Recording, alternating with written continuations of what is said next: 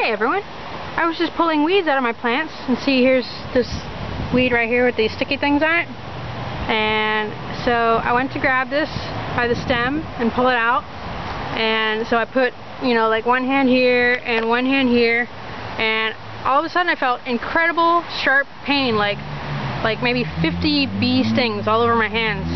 And I like yelled and I let go and I didn't understand what stung me. I was I was thinking there was a bee or a scorpion or something, and I look and I don't see one, but I didn't I didn't understand how it could hurt that much in such a big area.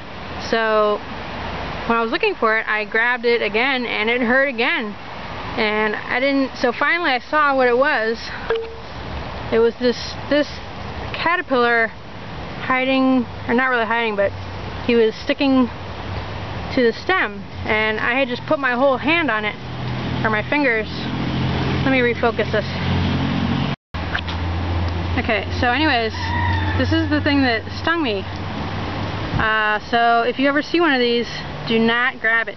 I've never grabbed one in my entire life because I kind of or knew or thought that they were they were poisonous or they stung you. But so I but I this one I didn't see. So I just grabbed him on accident. And man that hurts. Do not grab this kind of caterpillar